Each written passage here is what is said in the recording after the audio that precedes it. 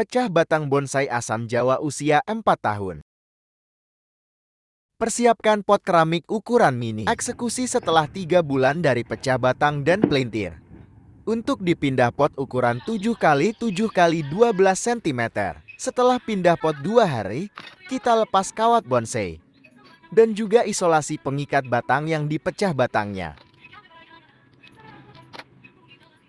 Untuk melepas isolasi kita gunakan pisau, agar lebih cepat dan akar tidak